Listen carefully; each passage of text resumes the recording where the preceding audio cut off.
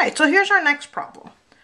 We want to construct a truth table for the following statement. Okay, notice the direction says they want an entire truth table. So the first thing I'm going to look is I'm going to look at my statement and figure out how many simple statements I have. Well, in this case, I have a P and I have a Q. So it's going to be a truth table with two simple statements, which we've already discussed. You set up in the following standard form. So under P, two truths followed by two falses, and under Q, you alternate true false. The way I do truth tables is just write down the truth values underneath each one of my parts and then work it out. Okay, so I'm going to start just like in math with my parentheses here. And the first statement I have here is P. So under P, I'm going to put the value of P at each line here. Okay, and I'm going to write them a little small so that I, you know, it's just my first step. So under P, I know that P is true, true, false, false. So I'm going to put true, true, false, false. Okay. Now the next thing I'm going to look at in my parentheses is my not Q. Well, not Q says to take Q and take its opposite. So Q was true, false, true, false. So not Q is going to be false, true, false, true. Now, my next step inside my parentheses is to OR these two statements. Now remember the rule for OR. If there's a true, it's true. All right, so in this first line, there's a true. There's a true. No true and here's a true.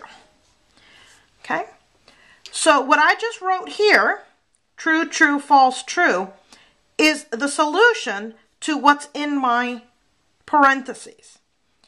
Now, I'm going to use that with Q over here.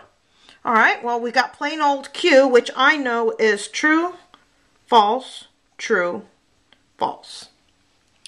So now for the biconditional, okay, which is my last step here. I need the biconditional.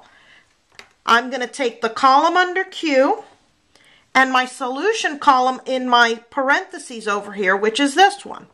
So my if and only if is going to be between these two columns. Now, remember the rule for the biconditional. If they're the same, it's true. Well, true if and only if true, true.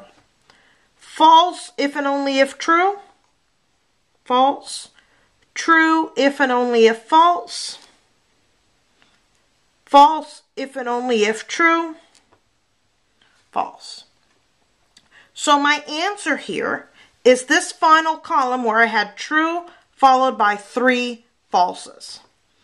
Okay, and to indicate that, if I'm doing this by hand on my paper, I'm just going to put a box around my answer. All right, so same directions here. Construct a truth table for this statement. And when I look at this statement, I notice I have a P, I have a Q, and I have an R. So it's going to be my basic setup of a three statement truth table. And we've seen that that one is eight lines. And under P, you have four truths, four falses. Q, two truths, two falses, two truths, two falses. And finally, under R, you alternate. And this will give you every combination of truth values for P, Q, and R. Okay, so I'm going to start this problem. Again, just like I did before, I'm going to start inside my parentheses. And the first thing I'm going to do is I'm going to look at not Q. Okay, well, remember that Q is two truths, two falses, two truths, two falses. So not Q is going to be exactly the opposite of that, which would be false, false, true, true, false, false, true, true. And notice that I wrote those a little small because it's just my first step. Okay, the next thing I'm going to look at is R. R is just a plain old R, and we know that he alternates between true and false. Okay. So my next step here is to go ahead and take these two columns and apply the OR to them. And remember the rule for OR. If there's a true, it's true. All right, so I'm just going to go down the column. There's a true, it's true. No true, so it must be false. And just continue in that same fashion down the table. All right, and again, remembering the rule, if there's a true, it's true. All right, my next step here then, now that I've finished my column for the parentheses, is I need to figure out what P is. Well, we already know what P is. It's four truths followed by four falses. And then for my very last step, I need to apply this AND, and I'm going to apply it between the column for my P and the answer column to my OR. Now remember the rules for AND. If there's a false, it's false. All right, so true and true would be true, true and false, and continue in the same manner.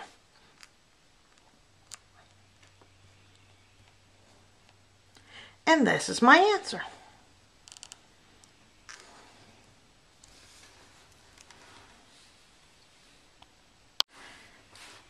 All right, next problem. Construct a truth table for this statement.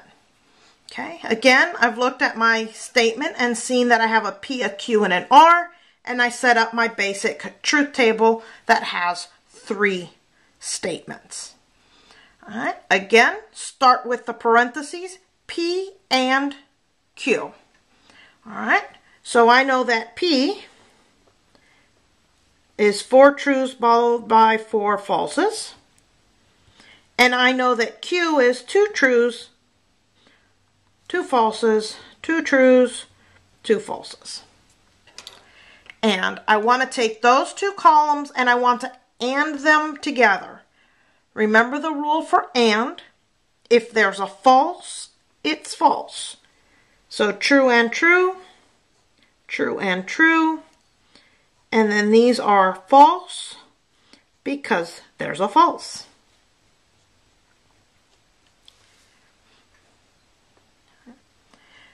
All right, so now I'm done with the parentheses. Now I got to look at what I have over here, and I have not R. Well, we know R alternates, so not R will alternate starting with false.